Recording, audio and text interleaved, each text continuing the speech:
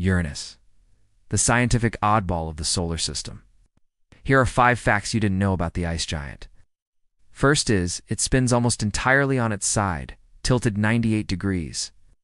This results in the most extreme seasons in the solar system, where one pole gets 42 straight years of daylight and the other gets 42 years of darkness. Second is, it's the coldest planet, even colder than Neptune. The minimum temperature recorded in its cloud tops is a frigid negative 224 Celsius, or negative 371 Fahrenheit.